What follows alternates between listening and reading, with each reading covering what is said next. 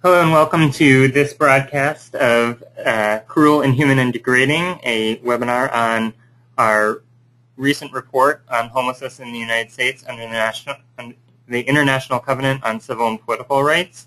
Um, my name is Eric Tars. I'm the Human Rights Program Director here at the National Law Center on Homelessness and Poverty, and we are excited to have you here today. And for some reason, I cannot get to the next slide.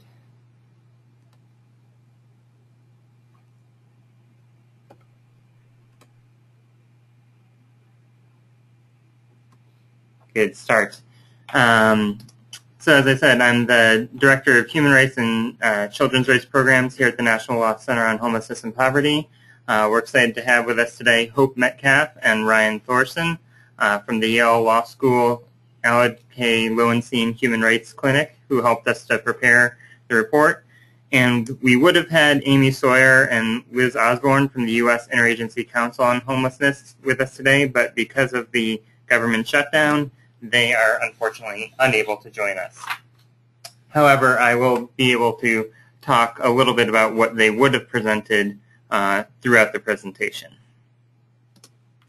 So today we'll talk about the why, the how, and the what of using an international process, what we call shadow reporting, as part of the review of the U.S. by the UN Human Rights Committee to change our domestic policy dialogue around homelessness to one that includes accountability to human rights standards. Because of the large number of people on this webinar, we're muting people's microphones, but if people have questions throughout the presentation, you can just type them in the chat box in the GoToWebinar panel on the corner of your screen, and we'll be doing our best to answer them at the end of the presentation. Um, but before we go any further, let's uh, do a quick poll and see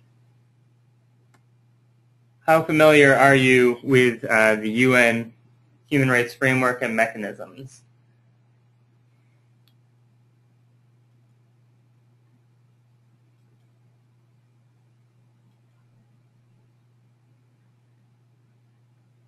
All right, so we've got a varying degree of familiarity. Um, uh, about 15% say very familiar, um, and about a, a, third then each uh, somewhat familiar or limited familiarity. Um,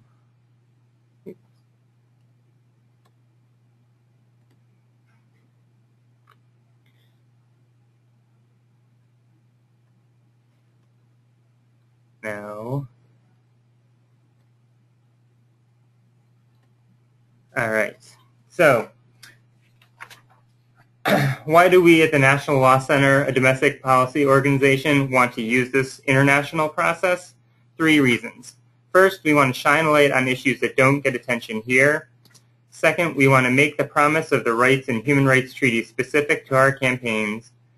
And third, we want to keep the record straight. What do I mean by this?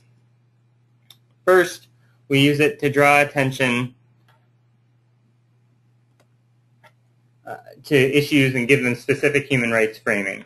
For example, after the Torture Committee and Human Rights Committee hearings in 2006, our friends in Chicago working on police abuse cases got huge media attention, and every news story referred not just to police abuse, but police torture, as condemned by the UN Committee Against Torture.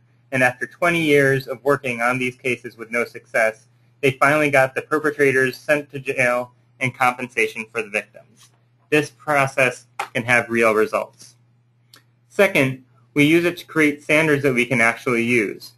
In 2012, we were able to get the U.S. Interagency Council on Homelessness to include language in their report on criminalization, stating that criminalization of homelessness may violate our obligations under the ICCPR, that's the International Covenant on Civil and Political Rights, as well as the Convention Against Torture. But the treaty language is broad. It provides for freedom from cruel, and inhuman, or degrading treatment or punishment. But if I want to go into a court and say that this standard means you can't criminalize basic human activities such as sleeping or eating for homeless people who have nowhere else to go, and I want the Human Rights Committee to confirm the U.S. government's interpretation of their obligations, then using this shadow reporting process can help me get specific recommendations and language to say that this standard means this outcome, and I can then use that advocacy, that language in my brief to a court or in my policy advocacy. Last but not least, we do it to maintain the record. Ultimately, we believe that housing is a basic human right that all people are entitled to.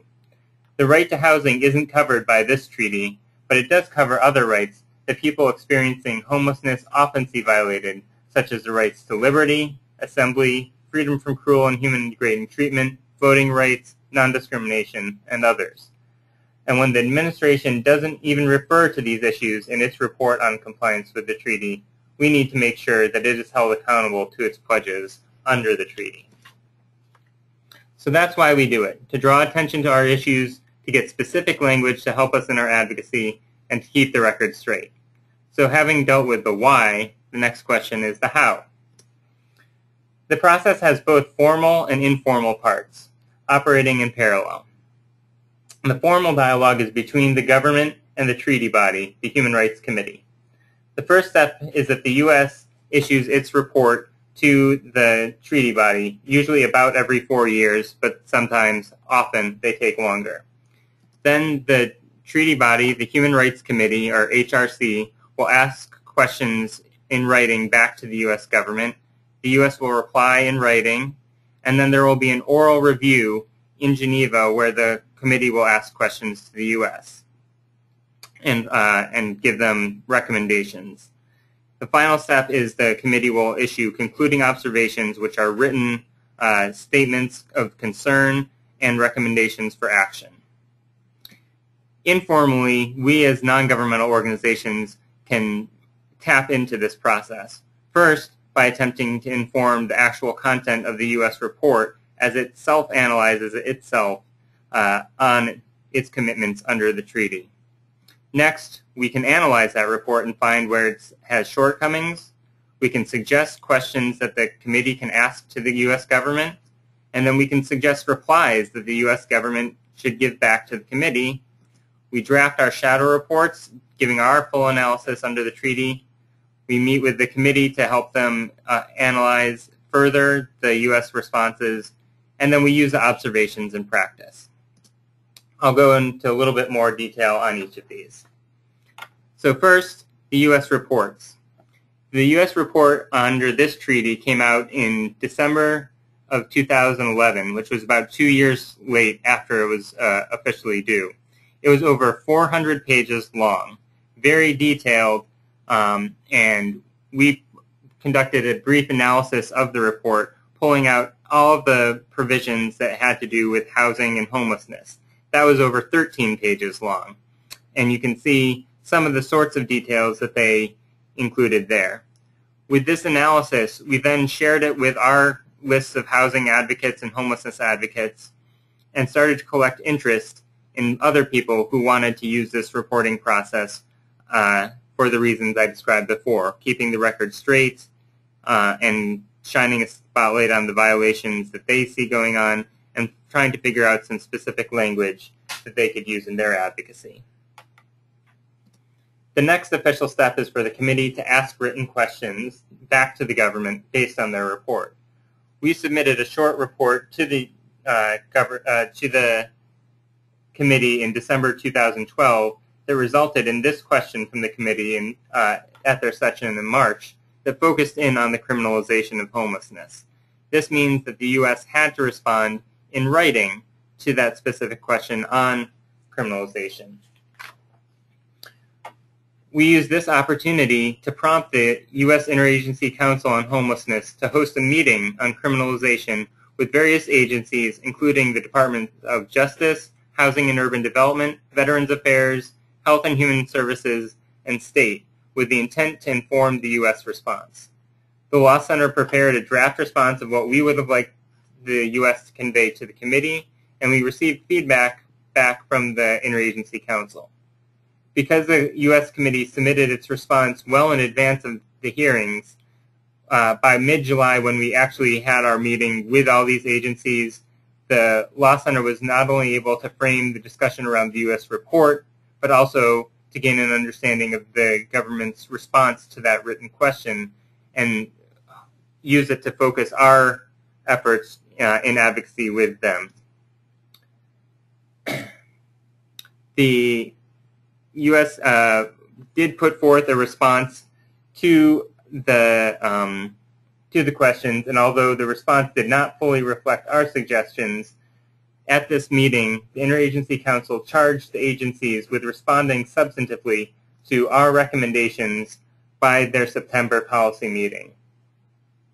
Amy and Liz from the U.S. Interagency Council on Homelessness would have said here um, some of the results that came out of that meeting. I can't tell you everything that they would have said, but they did verify that it was, in their words, a huge paradigm shift, a game changer in terms of using this process so that now, rather than just us as non-governmental organizations holding the government accountable from the outside to this process, they are now using it internally, holding other agencies that are part of the Interagency Council accountable to this international process and creating domestic human rights change on the ground.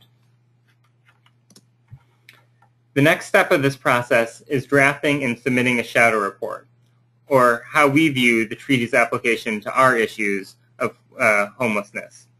We actually had begun this process much earlier, as we noted before, coordinating a consulting group of other housing and homelessness organizations back in as early as uh, January of 2012, um, working with non-governmental organizations, directly impacted homeless persons, and luckily for us, garnering the support of Yale's International Human Rights Clinic to help with the drafting. Because the committee has limited capacity, we focused our efforts on getting criminalization of homelessness on the agenda. But our report actually covers many other topics as well. Now I'd like to invite Hope Metcalf, uh, the clinical director, as well as Ryan Thorson, one of the students who worked on it, to give some more of the analysis. Great, thank you, Eric. Um, so my name is uh,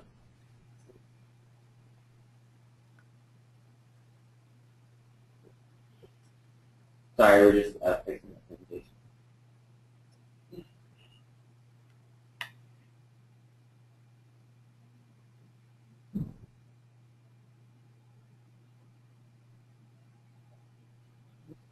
Sorry, folks. This is Hope. We just had a little issue with um, the program that we're not entirely familiar with. Um, are people seeing what was up on Eric's screen or what's up on where They're seeing what's on your screen. Um, so if you'd like me to show the slides, I can do that. Yeah, that, that would be helpful. Thank you, Eric. Apologies, everybody. All right, we're back to me. Great. So Eric, if you could just go to our slides. Okay, great. So um, we'll, we'll defer to you to move us along. Okay, and I'll toss it back to Ryan. Thanks, everybody. Okay, thanks. Um, so as Eric mentioned, um, we're both in the Lowenstein Clinic at Yale Law School.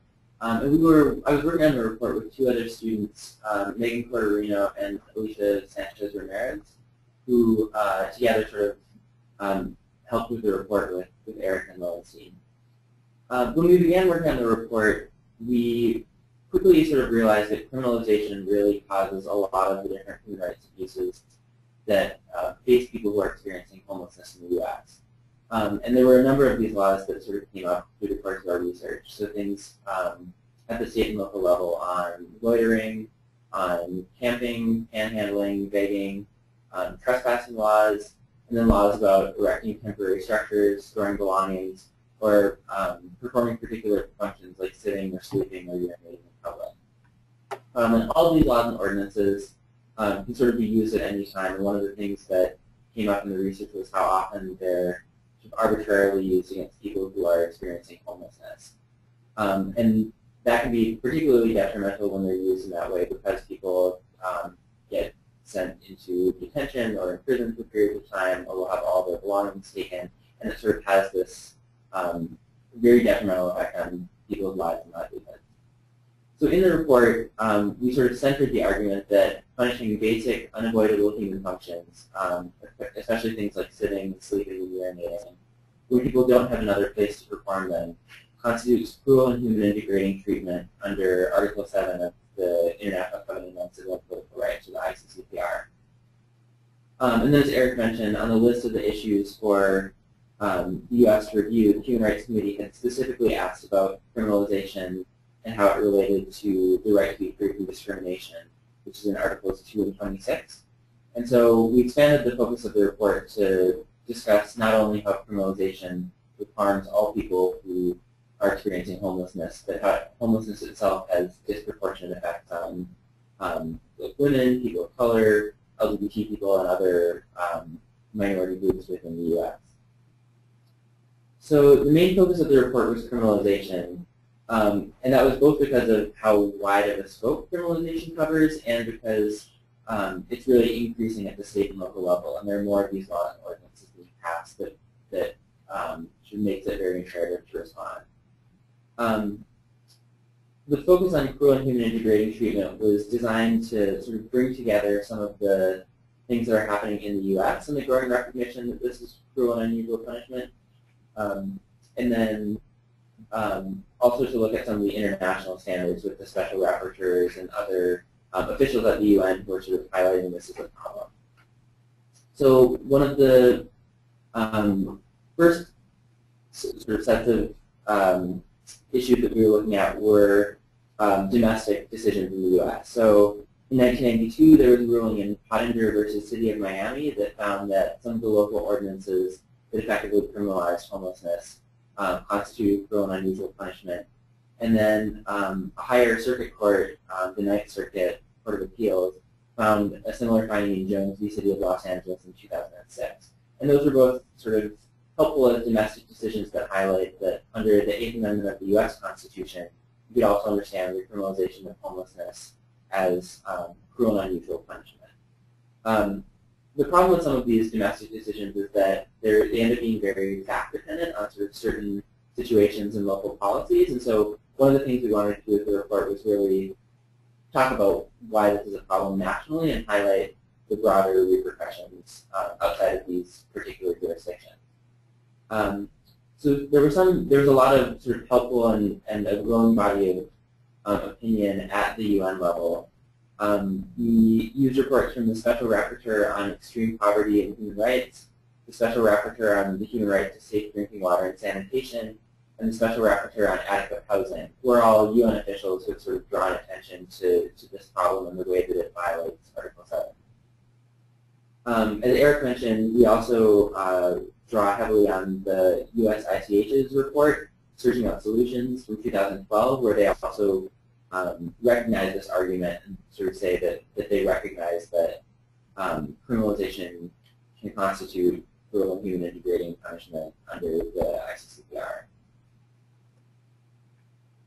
Beyond that, we also wanted to highlight some of the other rights that criminalization affects as well. So one of the, the main rights was um, the right to liberty and security of the person and the protection against arbitrary arrest and detention. So one of the problems with these laws and ordinances at the local level is that um, they're sort of arbitrarily applied by police. So police will sort of use them when they feel like they're helpful to disperse homeless population, which sort of target people who are living in homelessness. Um, and often this will mean that people will be in and out of detention or in and out of police custody um, which then makes it really difficult for them to find employment or stable housing or sort of um, do all of these other things that are related to sort of arrest and detention records. Um, we also focus on the right to privacy, um, and one of the reasons for that was that when uh, in some of the the lawsuits and the complaints that um, various homelessness organizations working with homelessness um, have filed, um, there's recognition that police will often sort of disrupt gatherings of people who are experiencing homelessness or will destroy tent cities or otherwise sort of invade the privacy of people who by necessity are living outdoors or living in public spaces. Um, and that sort of leads into the final right that we looked at under Article 21, which was the freedom of assembly. Um, the way that state and local officials sabotage tent cities or other encampments, um, or the way that they disperse homeless persons regularly violates this right, and we wanted to really emphasize that in the report. Um, and we especially emphasize that it's, it's real, this is really troubling because these communities um, often don't have other opportunities to sort of other places to gather or other places to sort of express a political voice. And so it has these sort of um, spillover effects into you know how people make demands and how they articulate their rights to state and local officials. Um, and then beyond the, the criminalization context, we also wanted to include infringements on other rights to make it clear that criminalization isn't the only way that human rights are affected by homelessness in the United States. Um, the first thing that we really wanted to highlight was the right to family um, and the ways that different laws, ordinances, and policies disrupt the right to, to form and maintain a family. Um, one of the ways in which this happens is when available shelters impose rules that force families to divide based on age and gender. So splitting up, uh, saying that children and parents have to split up, or male and female members of the family have to split up in order for them to access shelter space. Um, we also focus on the ways that the state intervenes to break up families uh, who are experiencing homelessness, um, and particularly the ways in which definitions of neglect sort of resemble what it means to live in poverty or what it means to not have stable housing, um, and how that interpretation of neglect, that particular interpretation of neglect is used to break up families. Another focus, um, particularly after the elections in 2012, were the passage of increasingly restricted voting laws that prevent people who are experiencing homelessness from voting or expressing political voice.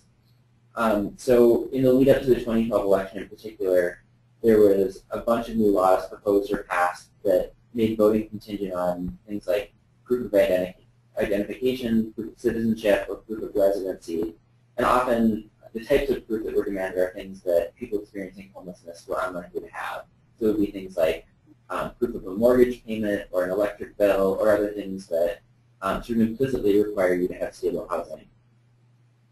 Um, and then finally, we highlighted uh, some of the ways that discrimination not only affects people experiencing homelessness as a group, but affects particular subpopulations within that group in specific ways. So we looked at um, how it affects people of color, women, LGBT people, and um, people with disabilities who often uh, have faced particular challenges in getting access to housing and maintaining housing in the U.S. Um, as just a final point, uh, one of the challenges in doing this kind of work in the United States is that the United States um, hasn't signed some of the international agreements that focus on social and economic rights, which include things like the right to housing in a, in a really explicit way. Um, and the U.S. generally tends to focus more on sort of liberty and freedoms rather than um, socioeconomic rights. And state and local constitutions or state and local um, sort of political systems often place more of an emphasis on those rights. So there's, um, you'll see things like homeless bills of rights that draw very heavily on the right to housing and sort of articulate these rights forcefully. Um, but one of the, I think, really productive parts of, of working on this report was articulating why criminalization is wrong in a civil and political rights framework that is likely to resonate in the U.S. and sort of resonate with people who, who think in a sort of freedom and liberty-based framework rather than a socioeconomic rights framework. Um, and for people who are interested in reporting or interested in using some of these international mechanisms, there are other treaties that um, also focus on some of these rights. So the Committee on the Elimination of Racial Discrimination um, has spoken out on the criminalization of homelessness in the U.S. as a violation of um, the prohibition on racial discrimination. Um, the Committee on the Elimination of All Forms of Discrimination Against Women has uh, paid special attention to how women and girls experience homelessness, and that's another opportunity to, to highlight the disproportionate effects that criminalization and homelessness have on women. And then um, there's also the International Covenant on Economic, Social, and Cultural Rights, which includes things like the right to housing, um, the right to sanitation, things that um, other countries have sort of used as they've reported on homelessness, but also articulate rights that are often recognized at the state and local level or can be incorporated into homeless bills of rights and should be used for state and local advocacy in the U.S., even if it's not um, necessarily the focus of sort of some of the federal advocacy.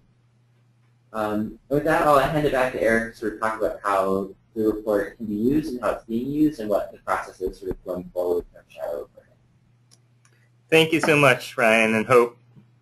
So uh, now we have the U.S. report, the committee's questions, our shadow report, uh, what comes next.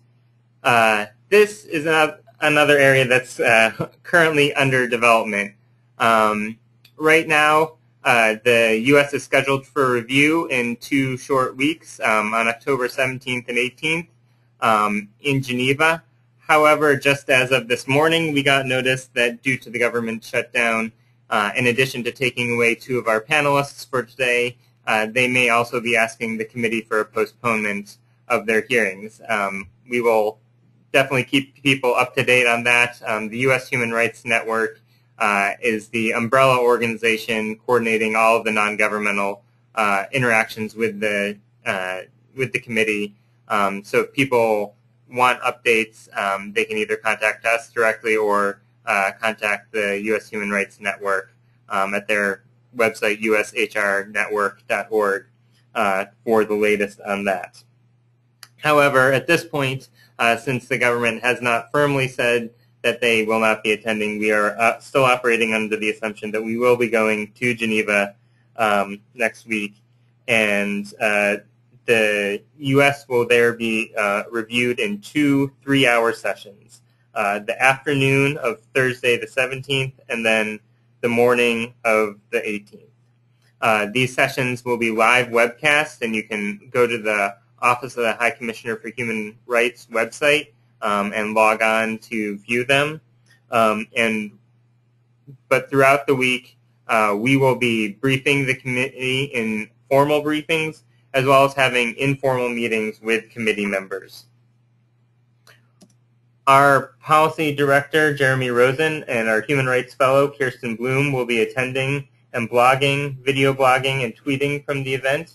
You can follow along at homelessnesslaw.org for our blog or on Twitter at, at NLCHP homeless, homeless uh, and Kirsten's blogs have already started in the lead up to the hearings, each day exerting one part of the report to further share its analysis, uh, and more will be following in the days to come and uh, once she's actually on the ground in Geneva. So the last stage of the process is for the committee to issue its concluding observations. During the committee's last review of the U.S., we got a concluding observation on the racially disparate impact of homelessness. This observation has been an essential part of our advocacy since then. You can see how it's much more specific than the broad non-discrimination language of the treaty, and that it tells the government it needs to take both adequate and adequately implemented steps. It demands action. This year, we're suggesting the committee make two observations at the conclusion of their review. The first one is a positive rec recommendation to commend the positive action taken uh, with regard to the criminalization of homelessness uh, in issuing the report from the U.S. Interagency Council on Homelessness. This recommendation uh, emphasizes the language that we want to emphasize in our domestic policy. It rewards the agency for taking the positive step of talking about human rights in a domestic policy report, and it allows us uh, to recognize the constructive steps forward that the U.S. has actually taken in addition to what we suggest is a more critical recommendation concerning crim criminalization practices. Then we urge the committee to note their concern under a broad range of articles about criminalization, including Article 7, cruel, and degrading treatment, as well as the other articles that Ryan mentioned earlier. We suggest that the committee call for criminalization practices to be immediately ceased with strong language that's applicable to any context where this would be happening. But because the focus of uh, the treaty reviews is always on the federal government, we specify action, actions that we believe the federal government should take in order to be in compliance with the treaty. Our shadow report goes into significantly more depth on the individual recommendations for the DOJ, HUD, and other agencies which fall under these general recommendations. And through our conversations with the interagency council and these agencies, they know exactly what they're going to be held accountable to uh, under these, even these, uh, the slightly more broad language. The last and ongoing step will be to use the observations we get this year in our advocacy. If these recommendations from the committee remain just words on paper in Geneva, then we aren't doing our job as advocates. It's up to us to make sure that our government at the federal, state, and local levels are aware of and implementing these recommendations. Beyond just working on issues of homelessness, we are also leading the Human Rights at Home campaign's efforts to create models of institutionalized human rights accountability mechanisms throughout the federal government and down to the state and local level. You can check out hurahcampaign.org, that's H-U-R-A-H, Human Rights at Home, campaign.org for more information on that. So, we've been in this process for almost two years now, and we already have some important victories to share. As I said, the Interagency Council uh, has said that it's been a game changer for them in terms of holding their agencies accountable uh, on a structural level to these human rights uh, standards. But what does bringing human rights home look like at a local level? Well, just as we were fin finishing up our shadow report, we were contacted by groups in Columbia, South Carolina, who are fighting a proposed ordinance that would have literally banned homeless persons from downtown Columbia, shipped them off to a shelter outside of the city, and placed a police officer between the shelter and downtown to prevent any of the homeless persons from returning to the city unless they had a documented appointment. Luckily, we discovered through our partners in the HuRAH campaign that they had helped the mayor, who was supporting the plan, draft and introduce a resolution to the U.S. Conference of Mayors last year calling for the local implementation of human rights treaties, including the ICCPR. We included the Columbia example in our shadow report, and our local partners were overjoyed to be able to tell the mayor that not only was this policy violating the spirit of his resolution, but the Columbia itself would be the subject of international scrutiny at the upcoming Human Rights Committee review. Following a meeting with our local partners, the mayor withdrew his support from the plan and it has since been tabled. Moreover, as I said, the U.S. Interagency Council on Homelessness, following one of the recommendations in our report, was also publicly opposing the plan and working to introduce more constructive alternatives to the mayor. Uh, Amy and Liz would have mentioned more about this here, um, how they are using the report uh, and the process both in their work at the federal level and all the way down to the local level. But unfortunately, uh, as I said before, they aren't able to join us now. So today we talked about the why, the how, and the what of using this international process to make the human rights of homeless people a real part of our domestic policy conversation. And to bring things full circle, let's see if people's understanding has improved.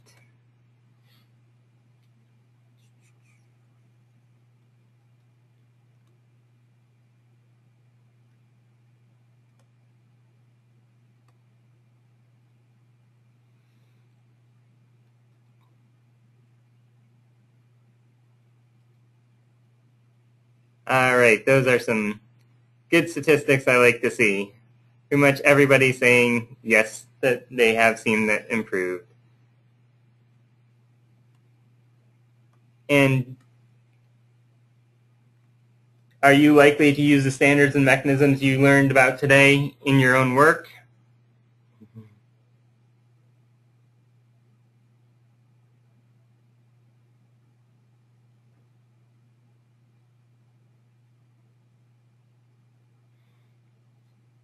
Again, we've got almost everybody saying either very likely or somewhat likely.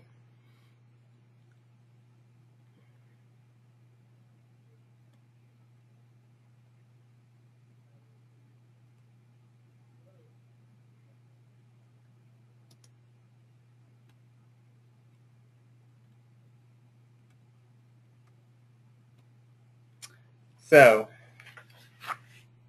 We've learned about the process of shadow reporting, and now all of you are ready to link your issues to the freight train of justice through the ICCPR process.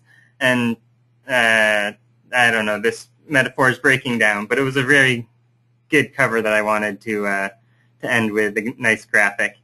but despite that, um, I'm happy to take more questions now. You can chat in the chat box at the bottom of your uh, dialog box. Um, again, you can follow along with our adventures in Geneva, whether they happen um, this October, as we hope they still will, or if they get postponed to the next committee session in March, um, at our blog at homelessnesslaw.org, or following us on Twitter or Facebook at NLCHP Homeless, or on Facebook at Homelessness Law. Um, so if you have any questions, uh, feel free to type them into the question box.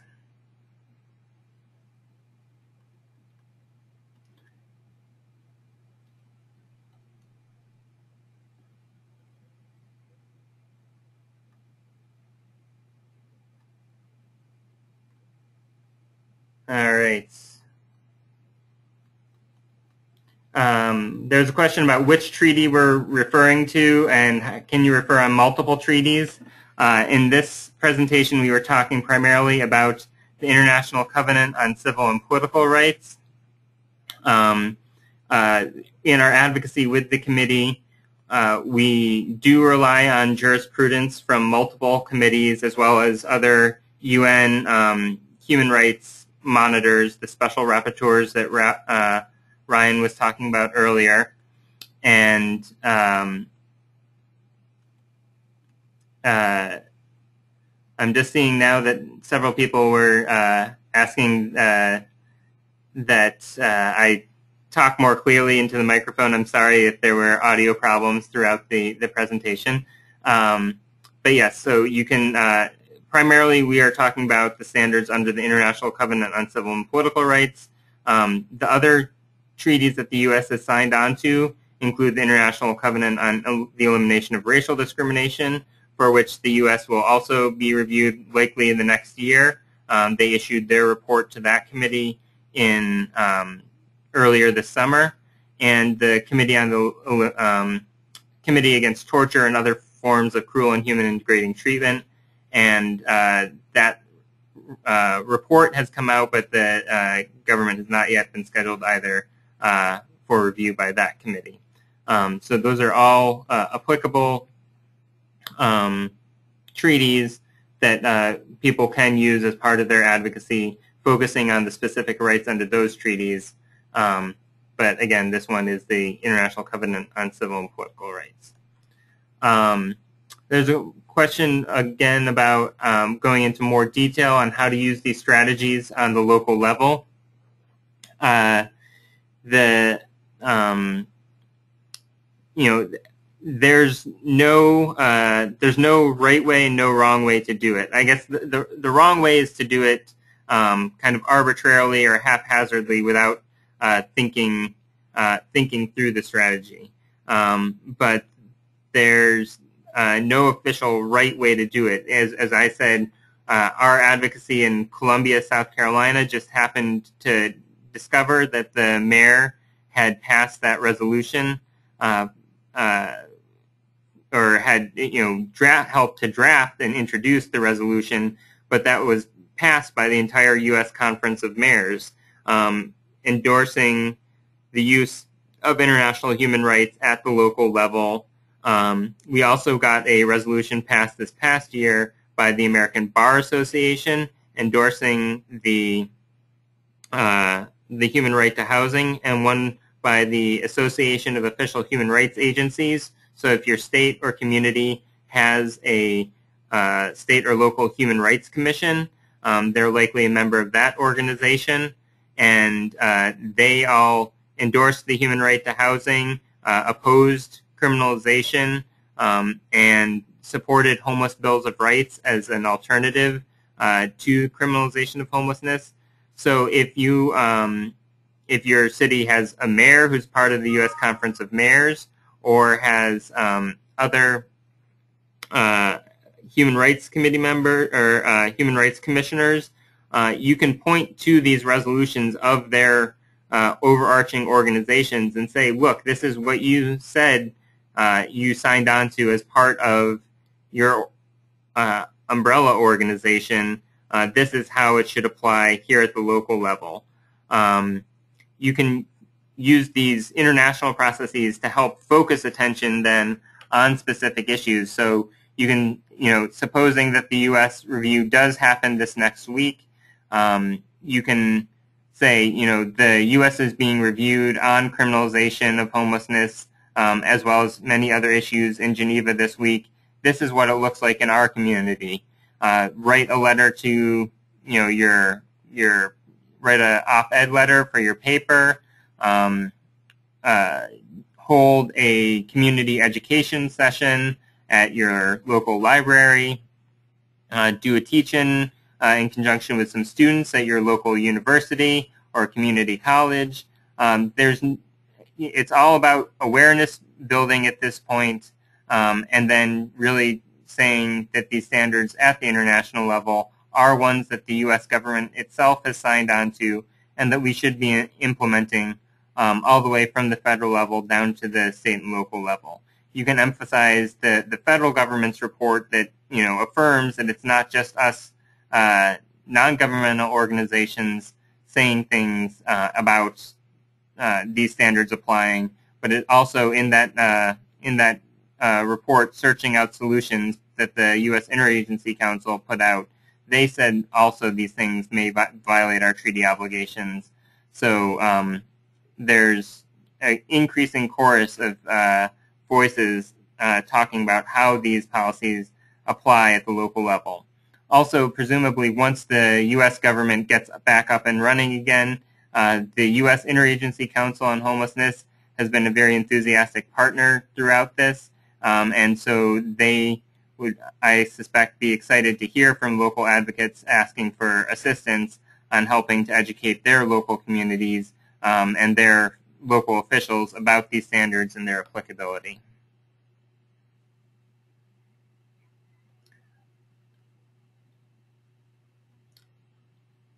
Um, there's a question about how to uh, apply these uh, to legal cases. Um,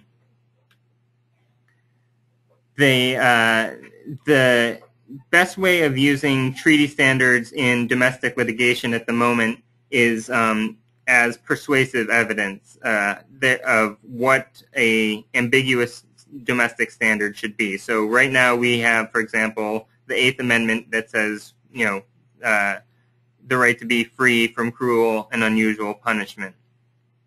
Um, some courts, as Ryan said, have found that this means that you can't criminalize homeless people for basic life-sustaining activities when they have no uh, safe and legal alternative. Um, some courts haven't uh, agreed with that, so it's still an open area of law. But we're, our hope is that if we have a uh, observation from a treaty that's binding on the U.S. Um, by the authoritative body to interpret that treaty, as well as a wealth of other international uh, human rights monitors who are talking about these international standards um, as cruel and human and degrading treatment. Um, it's language that's very parallel to our own Eighth Amendment standard. And uh, we could go into a court and say, this is how this court should interpret that broad language of cruel and unusual punishment um, as applied to the situation of criminalization of homelessness. Um, there's uh, many, many law review articles out there uh, on the use of international legal standards um, in domestic court cases. There's a, a number of successful examples, um, and uh, you know, I would direct people to some of those. Also, feel free to get in touch if uh, if you have additional questions on that front.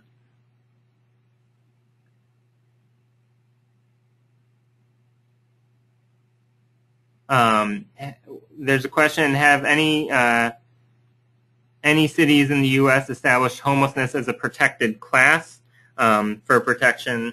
Um, there's a couple of examples um, of statewide homeless bills of rights which have recently passed in Rhode Island, uh, Illinois, um, and one other state, uh, Connecticut, uh, that uh, don't recognize homelessness as a protected class um, for some purposes, purposes, but that do uh, provide that homelessness is a status that you can't discriminate on the basis of.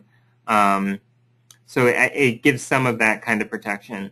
Uh, the District of Columbia at the city slash state level, depending on how you define it, um, does include uh, homelessness amongst their protected categories uh, from discrimination under their anti-discrimination law.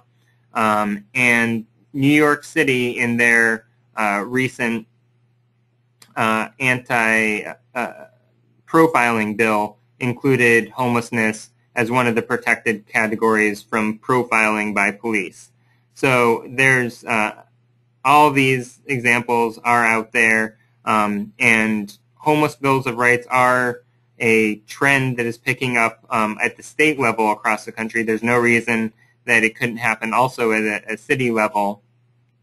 Uh, and um, the ones that have passed so far are these non-discrimination type bills. There are two that are um, that have been introduced. One that's been introduced in California. Um, it's now they're now waiting to the next legislative session to introduce an updated version because the the version that was introduced didn't get passed. But those versions, um, the Oregon and California bills, um, are uh, are going beyond just that non-discrimination protection to specifically address the issues of criminalization that we were talking about here today.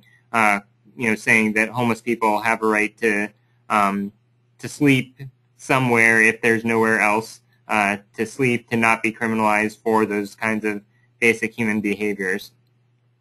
So uh, those are, you know, that's definitely a trend, and the, that's a trend that we at the Law Center would like to, to see strengthened.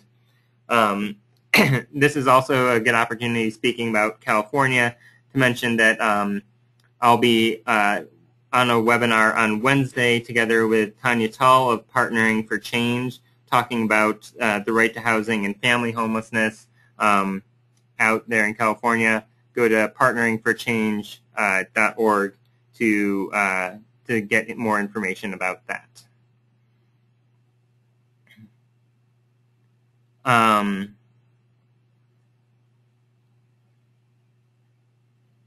uh, there's a question about where can the ABA, Human Rights Commission, and mayor resolutions be found. Um, the ABA and Human Rights Commission resolutions are both on our website, nlchp.org, uh, there on your screen. Um, if you look under our news releases or in our uh, newsletter archives, um, you can find in uh, our most recent newsletter links to both of those because they um, uh, they both passed just in August. Uh, the mayor resolution, I think, may also be on our website, but um, if you just uh, do a Google search for uh, U.S. Committee of Mayors Resolution International Human Rights, um, you'll likely be able to find it. It was uh, passed at their last session in uh, their last annual meeting in 2012. Um, uh, or if you contact me directly at my email address, I'm happy to, to send it to you. And again, I think these are great tools that we could be using um, on a much more uh, wide basis.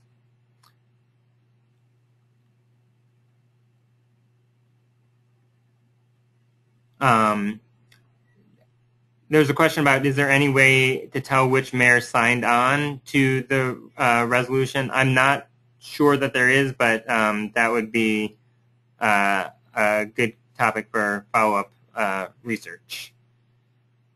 Um, there's a question about uh, does a treaty violation constitute a private right of action? Um, for example, in camp evictions, uh, treaty violations do not create a private right of action under current interpretations of U.S. law.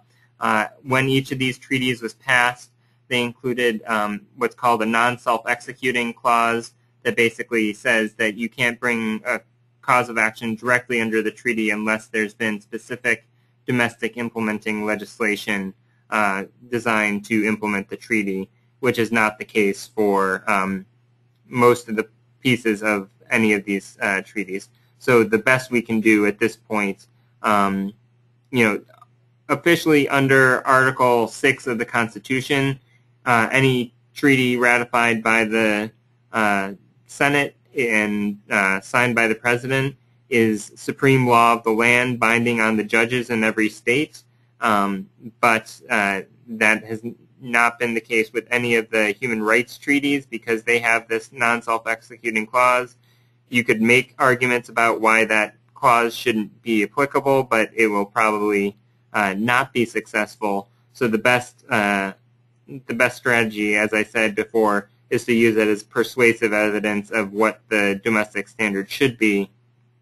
However, if you check out our report on our website called Criminalizing Crisis, uh, there's a great number of examples of all of the cases um, that do address uh, tent eviction, uh, tent camp evictions, um, as well as uh, other forms of criminalization, sweeps, um, uh, and you know uh, other forms of of harassment of homeless people um, that have been successful and discuss all of those cases. So if you're looking for specific causes of action, there's good examples that are there.